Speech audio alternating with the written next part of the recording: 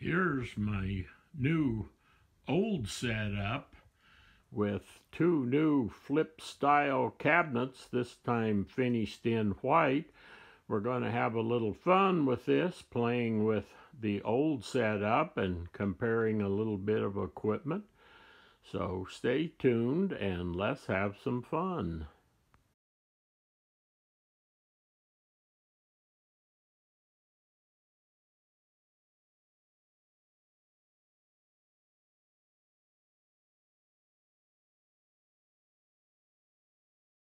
You see that picture there? Those are JBL 250 Ti. I'd never even seen a picture of those speakers before. They're from circa 1985 and really look quite interesting. My store picked those up at a good price and I purchased them. We're going to send them over to a guy to refoam the surrounds or whatever you call it and uh, check the crossover capacitors and that kind of stuff kind of get them in good playing condition and you're going to see them in there in the other room with my old setup a much bigger room in this room and i think something like that will be fun to play with and there will be a little interesting story going along with it how Stereophile back in 1985 actually did reviews where they named names and said it like it was. That was the good old days.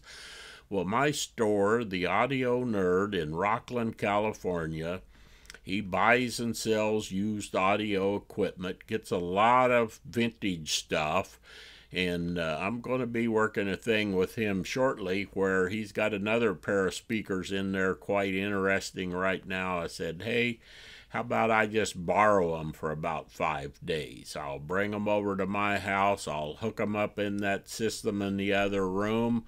We'll see what they sound like. We'll have a little fun. And he's got stuff going in and out of that store all the time. And I thought these JBLs were quite unusual and it will just be interesting to see. So if you're not subscribed, subscribe. Click the little bell down there to make sure you get notifications when I pop up videos.